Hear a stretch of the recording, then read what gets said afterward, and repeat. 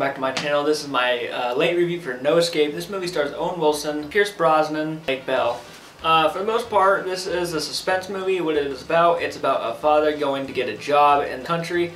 And, well, you know, we've seen it thousands of times where they get into this country, the guy's going to get a job, a civil war's happening, people are getting killed, riots are starting, um, and uh, the foreigners, all the foreigners in this country are being uh, slaughtered. Uh, this movie, what it did, okay, what, did, what this movie did really well was it, it, it, brought out the suspense and the intensity of every scene very well. It did that very well. It was handled very, very, very good. That was one of the ups about this movie. The acting, um, I thought the acting was great. I thought the acting was fine overall. I mean, Owen Wilson, you know, he did what he could. He played a good fatherly figure. Um, you know, he wasn't no badass or nothing. I mean, when there were situations that were, uh, the odds were stacked against him, I mean, he looked like he was going to lose. Um, you know, those, those, those moments, and I'm very thankful for that because they didn't need to go over the top of this movie. I mean, um, the guy didn't need to be throwing people off building. Let me get to that. Now, there's a lot of stupid uh, scenes in this movie. I mean, when I say that, I mean very sloppy written. Um, I don't think... I, I know what they mean by when they were throwing. I mean, it's in the trailer, so if you didn't know. There's a scene where they take these girls and they throw them to another rooftop, and I, from how it was presented, that scene could have been very intense and very, very, uh, very good. But I didn't think it was necessary to do that in slow-mo. And there's a lot of slow-mo moments in this movie which I don't think are necessary um, at all, actually. Um, overall though, this is a movie that you're going to go see for the intensity and the suspense, and I gotta say this movie does that very, very well. I was on the edge of my seat at points, and the people who are uh, killing the foreigners, I mean, this group of, you know, um, uh, people are very intimidating at points. They're scary. You don't want to be in their way when they're going and doing their business. I mean, they're just a scary group. It's, uh, and I'm not a big fan of these types of movies.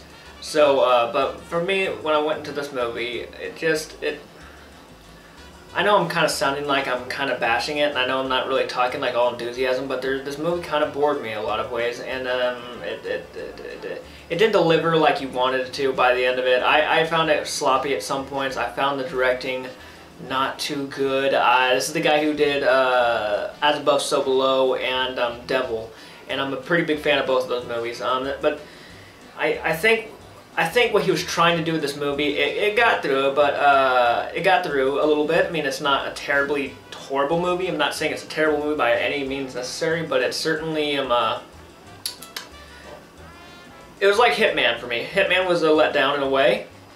Could have been something very special and great, especially when you have Owen Wilson starring in this movie. Um, you had a lot of potential. Uh, he did, and Owen Wilson did play a good role. He was he was fine as the main lead. I didn't. He held the movie pretty well. Um, I'll give him that. I'll give him that. He held it nicely. Um, Pierce Brosnan, you know, he's on the front of the the mat. He's on the front of the poster and everything, but he's not in the movie as long as you want him to be. He's playing, you know, this guy who drinks.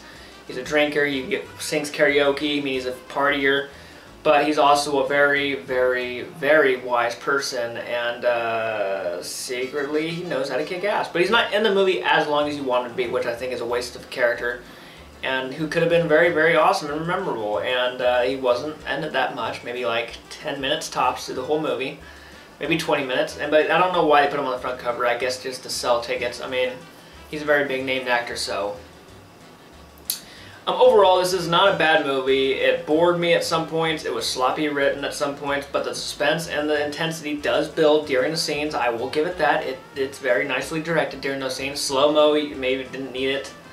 Um, the intensity of these guys who are killing these foreigners, that's, that's intense. The acting is top-notch. I mean, it's good acting. I'm not going to say it's bad. The little girls annoy me at some points. I mean, there's just some moments where they just scream randomly and you're like, you gotta shut up, you know, shut up.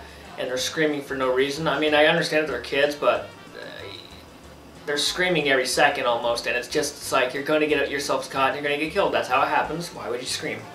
And they should get to the point, people are dying. Keep your kids quiet. And that kind of annoyed me, and there's a lot of flaws in the movie too, like points that weren't made too clearly. Like there was a scene where uh, the Owen Wilson's character had to, uh, this ain't gonna spoil none, there's a scene, a scene with a pool on top of a building and Owen Wilson's character has to go get his daughter but he needs like a map to get to the pool. How does the how did the daughter manage to get up to the pool without a map? And it takes her dad so long to get there. It made no sense. It really didn't. I don't know how it happened. It's just weird. It's one of there's a lot of those moments where you're like, how is that possible? If they can do that, well, this guy can't do that without this. And there's a lot of those moments. Uh, a couple moments, actually. Um, but overall, this ain't a bad movie. I bore me at some points, as I said. I'm going to give this movie, I know I'm bashing on it, and I know it's, I'm, I'm talking like I'm not caring that much, but it's just there wasn't that much enthusiasm with this movie for me after I watched it. Um, I'm going to overall give it a C. It's not a bad movie, but still could have been way worse. By all means, it could have been way worse. Um, uh, yeah, C.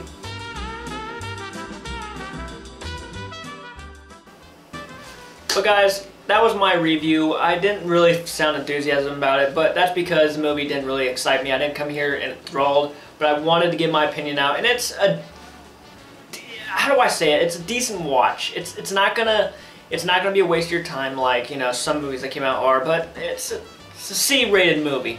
Guys, comment down below. Let me know your thoughts on No Escape. Are you guys interested in seeing it? Do you guys even care? Let me know down below. You know, follow me on Twitter. Uh, follow me on MoviePilot.com. Be friends with me on Facebook. And guys, as always, thanks for watching. Like this video and subscribe.